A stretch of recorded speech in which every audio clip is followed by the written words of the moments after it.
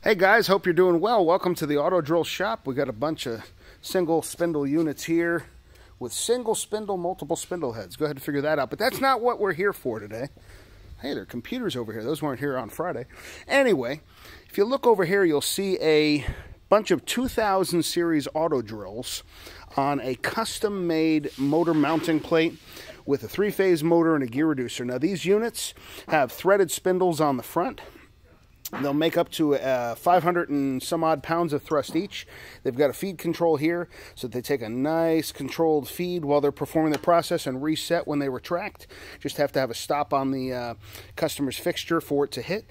And of course, these threaded spindles will take a custom chuck that the customer is using. We're not even providing that. They want to put their own stuff on there, and we can help them with that with these custom spindles.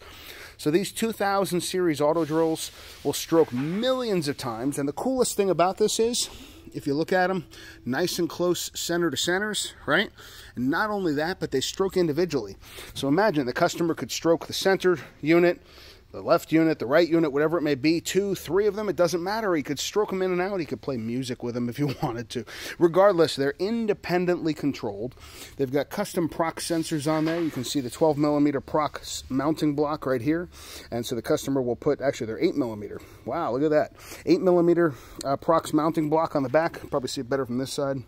Maybe not. It's a little dark. Anyway, so this customer will have this unit out in their shop performing a three-hole process. The cool thing is they've got about 20 of these things all lined up next to each other to do a massive hole process with individual stroke capability for each one. And so let's see if we can do something fun here.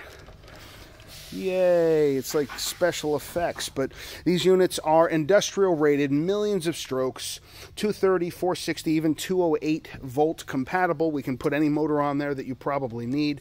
We would love to help you solve your needs in your manufacturing environment.